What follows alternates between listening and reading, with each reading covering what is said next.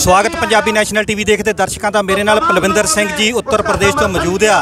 ਅੱਜ ਅੰਤਮ ਅਰਦਾਸ ਵਿੱਚ ਉੱਤਰ ਪ੍ਰਦੇਸ਼ ਤੋਂ ਨਹੀਂ, ਪੂਰੇ ਭਾਰਤ ਵਿੱਚੋਂ ਸੰਗਤਾਂ ਸ਼ਾਮਲ ਹੋਈਆਂ। ਕਰਦੇ ਉਹਨਾਂ ਨਾਲ ਗੱਲਬਾਤ। ਪੂਰੇ ਭਾਰਤ ਵਿੱਚੋਂ ਅੱਜ ਸ਼ਹੀਦਾਂ ਨੂੰ ਸ਼ਰਧਾਂਜਲੀ ਦੇਣ ਲਈ ਲੋਕ ਆ ਰਹੇ ਨੇ। ਪਰਿਵਾਰਾਂ ਨੂੰ ਵੀ ਤੁਸੀਂ ਮਿਲੇ ਹੋ। ਜਿਹੜਾ ਹਰ ਬੰਦਾ ਦੁੱਖ ਜਿਹੜਾ ਵਿਅਕਤ ਕਰ ਰਿਹਾ ਆਪਣਾ, ਪਰ ਬੜੀ ਵੱਡੀ ਕਾਨੂੰਨੀ ਘਟਨਾ ਹੋਈ ਆ। ਕਿੱਦਾਂ ਦੇਖਦੇ ਘਟਨਾ ਨੂੰ? ਘਟਨਾ ਜੀ ਇਹ ਤਾਂ ਬੀਜੇਪੀ ਦੀ ਖੁੱਲੀ ਗੁੰਡਾਗਰਦੀ ਆ। ਐਸਐਮਪੀ ਨੇ ਪਹਿਲਾਂ ਹੀ 26 ਤਰੀਕ ਨੂੰ ਧਮਕੀ ਦੇ ਦਿੱਤੀ ਸੀਗੀ ਤੇ ਉਸ ਧਮਕੀ ਤੇ ਇਹਨੇ ਫੁੱਲ ਚੜਾਏ ਪਿੱਛੇ ਜਾਂਦੇ ਕਿਸਾਨਾਂ ਨੂੰ ਵਾਪਸ ਮੁੜ ਰਹੇ ਕਿਸਾਨਾਂ ਦੇ ਉੱਪਰ ਜ਼ਬਰਦਸਤੀ ਇਹਨਾਂ ਨੇ ਗੱਡੀ ਚੜਾਈ ਤੇ ਉਹਦੇ ਵਿੱਚ ਸਾਨੂੰ ਕਾਨੂੰਨੀ ਕਾਰਵਾਈ ਕਰਵਾਉਣ ਵਾਸਤੇ ਬਹੁਤ ਅੜਿੱਕੇ ਲੱਗੇ ਆ। ਉਹ ਬੜੇ ਸਾਨੂੰ ਸੰਘਰਸ਼ ਕਰਨਾ ਪਿਆ ਸਾਰਿਆਂ ਨੂੰ ਇਕੱਠੇ ਹੋ ਕੇ। ਤਾਂ ਕਿਤੇ ਜਾ ਕੇ ਪਰਚੇ ਕੱਟ ਹੋਏ ਆ ਤੇ ਹੁਣ ਅਗਲੀ ਕਾਰਵਾਈ ਹੋ। ਰਹੀ ਆ ਤੇ ਸਾਨੂੰ ਇੰਨਾ ਦੁੱਖ ਮਹਿਸੂਸ ਹੋਇਆ। ਅਸੀਂ ਕਹਿ ਨਹੀਂ ਸਕਦੇ ਹੈ। ਜਿਵੇਂ ਕਿ ਤੁਸੀਂ ਉਹਨਾਂ ਕਿਸੇ ਨੌਜਵਾਨਾਂ ਨੂੰ ਮਿਲੇ ਹੋਣਗੇ ਜਿਹੜੇ ਮੌਕੇ ਤੇ ਮੌਜੂਦ ਸੀਗੇ। ਐਕਚੁਅਲੀ ਸਥਿਤੀ ਕਿੱਦਾਂ ਦੀ ਦੱਸਦੇ ਨੌਜਵਾਨ? ਅਸਲ ਮੈਂ ਕਈ ਲੋਕਾਂ ਨੂੰ ਮਿਲਿਆ ਮੈਂ ਇਹਨਾਂ ਪੰਜਾਂ ਦੇ ਘਰ ਵੀ ਗਿਆ ਤੇ ਇਹ ਅਸਲ ਜਾਣੇ ਵਿਰੋਧ ਕਰਦੇ ਪਏ ਸੀਗੇ। ਇਹਨਾਂ ਨੂੰ ਜਦ ਲੱਗਿਆ ਕਿ ਹੈਲੀਕਾਪਟਰ ਨਹੀਂ ਆਣਾ ਹੈਲੀਪੈਡ ਤੇ ਇਹ ਵਾਪਸ ਮੁੜ ਰਹੇ ਸੀ ਪਿੱਛੇ ਨੂੰ। ਪਰ ਇਹ ਜਿਹੜਾ ਇਹਦਾ ਐਮਪੀ ਸਾਹਿਬ ਜਿਹੜੇ ਗ੍ਰਹਿ ਮੰਤਰੀ ਆ ਇਹਨਾਂ ਜਿਹੜਾ ਮੁੰਡਾ ਆ ਇਹ ਤਿੰਨ ਪੀੜ੍ਹੀਆਂ ਤੋਂ ਇੱਥੇ ਜਾਣੀ ਗੁੰਡਾਗਰਦੀ ਕਰਦੇ ਚੱਲ ਰਹੇ ਆ। ਤਾਂ ਉਹਨਾਂ ਨੇ ਪਿੱਛੇੋਂ ਜਾ ਕੇ ਉਹਨਾਂ ਪਰ ਗੱਡੀ ਚੜਾਤੀ ਜਾਣੀ ਇੰਨੇ ਬੇਰੁਖ ਤਰੀਕੇ ਨਾਲ ਸਾਰੇ ਵੀਡੀਓ ਵਾਇਰਲ ਹੋਇਆ ਇਸ ਵੇਲੇ ਆਪਾਂ ਸਾਰੇ ਲੋਕ ਦੇਖ ਵੀ ਰਹੇ ਆ। ਤੇ ਜਾਣੀ ਇੰਨਾ ਦੁੱਖ ਇੰਨੇ ਰੋਂਗਟੇ ਅੱਜ ਵੀ ਖੜੇ ਹੁੰਦੇ ਆ ਵੀ ਇੰਨਾ ਅਸੀਂ ਕਿਤੇ ਵਰਲਡ ਵਿੱਚ ਕਿਤੇ ਅਤਿਆਚਾਰ ਨਹੀਂ ਦੇਖਿਆ ਜਿੰਨਾ ਸਾਡੇ ਆ ਲਖੀਮਪੁਰ ਤਕੁਨੀਆਂ ਵਿਖੇ ਹੋਇਆ।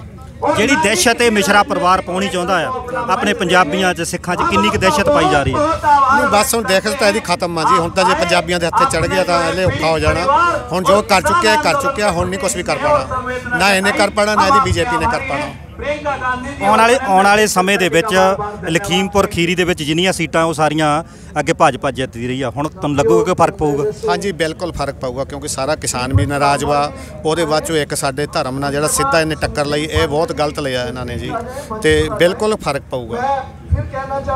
ਤੁਸੀਂ ਤੁਸੀਂ ਕਿੱਦਾਂ ਦੇਖਦੇ ਆ ਕਿ ਜਿਹੜਾ ਨੌਜਵਾਨ ਹੈ ਇਸ ਵੇਲੇ ਉੱਤਰ ਪ੍ਰਦੇਸ਼ ਦਾ ਉਹ ਅੰਦੋਲਨ 'ਚ ਕੁੱਦ ਚੁੱਕਾ ਹੈ? ਪਰ ਜਦੋਂ ਇਦਾਂ ਦੀ ਘਟਨਾ ਵਾ- ਵਾਪਰਦੀ ਹੈ ਤਾਂ ਫਿਰ ਵੀ ਪਰਿਵਾਰਾਂ ਦੇ ਵਿੱਚ ਜਿਨ੍ਹਾਂ ਦਾ ਇੱਕ ਇੱਕ ਪੁੱਤ ਸੀਗਾ, ਉਹ ਚਲੇ ਜਾਂਦਾ ਤਾਂ ਲੋਕ ਫਿਰ ਇਸ ਗੱਲ ਦੇ ਵਿੱਚ ਕਿਤੇ ਨਾ ਕਿਤੇ ਉਹ ਘਾਟ ਜਿਹੜੀ ਉਹ ਕੋਈ ਪੂਰੀ ਨਹੀਂ ਕਰ ਸਕਦਾ, ਨਾ ਪੈਸਾ, ਨਾ ਕੁਝ ਵੀ। ਨੌਜਵਾਨਾਂ ਨੂੰ ਜੇ ਪਰ ਲੱਗਦਾ ਵੀ ਸੰਜਮ 'ਚ ਰਹਿਣਾ ਚਾਹੀਦਾ ਆ, ਆਉਣ ਵਾਲੇ ਸਮੇਂ 'ਚ ਕਿੱਦਾਂ ਦੀ ਕਿੱਦਾਂ ਦੇਖਦੇ ਦੇਖੋ ਜੀ, ਇਹ ਸ਼ਹੀਦੀਆਂ ਵਿਅਰਥ ਤਾਂ ਨਹੀਂ ਜਾਣੀਆਂ ਹੈ, ਪਰ ਮੇਰੀ ਨੌਜਵਾਨਾਂ ਨੂੰ ਇਹੀ ਅਪੀਲ ਵਾ, ਸੰਯਮ ਵਿੱਚ ਰਹਿ ਕੇ ਸ਼ਾਂਤੀਪੂਰ ਤਰੀਕੇ ਨਾਲ ਵਿਰੋਧ ਕਰਨ, ਜਿੱਦਾਂ ਕਿ ਆਪਾਂ ਦਿੱਲੀ ਮੋਰਚੇ ਤੇ ਲੱਗੇ ਹੋਏ ਆ ਤੇ ਸ਼ਾਂਤੀਪੂਰਵਕ ਕਰਨੇ ਨਾਲ ਹੀ ਅਸੀਂ ਕਾਮਯਾਬ ਹੋ ਪਾਣਾ ਆ, ਤੇ ਬੜੇ ਸੰਯਮ ਨਾਲ ਕੰਮ ਲੈਣਾ ਆ, ਔਰ ਰਾਜਨੀਤਿਕ ਤਰੀਕੇ ਵਿੱਚ ਇਹਨਾਂ ਦਾ ਪੂਰਾ ਵਿਰੋਧ ਕਰਨਾ ਆ ਇਹਨਾਂ ਦੇ ਖਿਲਾਫ ਵੋਟ ਵੀ ਅਸੀਂ ਕਰਨੀ ਆ। ਤੇ ਮੈਂ ਨੌਜਵਾਨਾਂ ਨੂੰ ਇੱਕ ਅਪੀਲ ਹੋਰ ਕਰੂੰਗਾ ਕਿ ਉਹ ਰਾਜਨੀਤੀ ਵਿੱਚ ਵੀ ਸਕਰੀਏ ਹੋਣ ਗਾਹਾਂ ਹੁਣ। ਹੁਣ ਖਾਲੀ ਕੰਮ ਕਰਨੇ ਨਾਲ ਕੰਮ ਨਹੀਂ ਚੱਲਣਾ। ਔਰ ਸਾਨੂੰ ਚਾਰੋਂ ਪਾਸੇ ਨੂੰ ਚੱਲਣਾ ਪੈਣਾ। ਅਸੀਂ ਰਾਜਨੀਤੀ ਵਿੱਚ ਵੀ ਸਕਰੀਏ ਹੋਈਏ ਸਮਾਜ ਸੇਵਾ ਵਿੱਚ ਵੀ ਸਕਰੀਏ ਹੋਈਏ ਤੇ ਹਰੇਕ ਗੱਲ ਨੂੰ ਤਰਕ ਨਾਲ ਗੱਲ ਕਰੀਏ ਹਰੇਕ ਤਾਂ ਚਾਰ ਬੰਦਿਆਂ ਨੂੰ ਸਮਝਾਈਏ ਕਿ ਇਹ ਕਿਆ ਕਰਦੀ ਪਈ ਆ। ਸਰਕਾਰ ਉਹ ਸਾਨੂੰ ਕਿਆ ਚਾਹੀਦਾ ਕਾਦੀ ਲੋੜ ਵਾ। ਬਲਵਿੰਦਰ ਜੀ ਬਹੁਤ ਬਹੁਤ ਧੰਨਵਾਦ। ਬਹੁਤ ਬਹੁਤ ਧੰਨਵਾਦ ਜੀ। ਇਹ ਸੀ ਪਲਵਿੰਦਰ ਸਿੰਘ ਜੀ ਉੱਤਰ ਪ੍ਰਦੇਸ਼ ਤੋਂ। ਨੇ ਦੱਸਿਆ ਕਿ ਆਉਣ ਵਾਲੇ ਸਮੇਂ ਦੇ ਵਿੱਚ ਨੌਜਵਾਨਾਂ ਨੂੰ ਜਿੱਥੇ ਸੰਜਮ ਵਰਤਣਾ ਚਾਹੀਦਾ ਤੇ ਨਾਲ ਰਾਜਨੀਤਿਕ ਤੌਰ ਤੇ ਵੀ ਉਹਨਾਂ ਨੂੰ ਕਿਤੇ ਨਾ ਕਿਤੇ ਅਵੇਅਰ ਹੋਣਾ ਪਊਗਾ।